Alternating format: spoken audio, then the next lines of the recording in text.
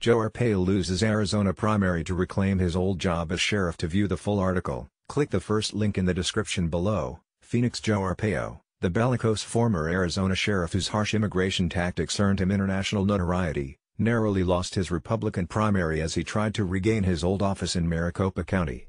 Voters instead backed Jerry Sheridan, Mr. Arpaio's former chief deputy, who promised to revive many of Mr. Arpaio's policies but without the showmanship that defined the office under Mr. Arpaio's 24-year reign. Mr. Sheridan will face Sheriff Paul Penzone, the Democrat who trounced Mr. Arpaio four years ago, in the November general election.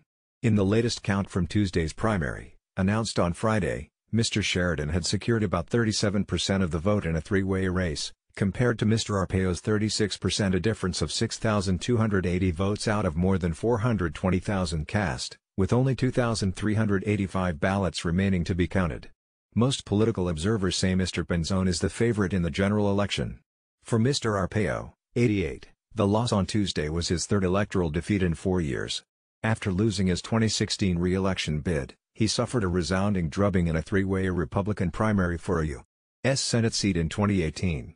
Phoenix Joe Arpaio, the bellicose former Arizona sheriff whose harsh immigration tactics earned him international notoriety, narrowly lost his Republican primary as he tried to regain his old office in Maricopa County. Voters instead backed Jerry Sheridan, Mr. To view the full article, click the first link in the description below.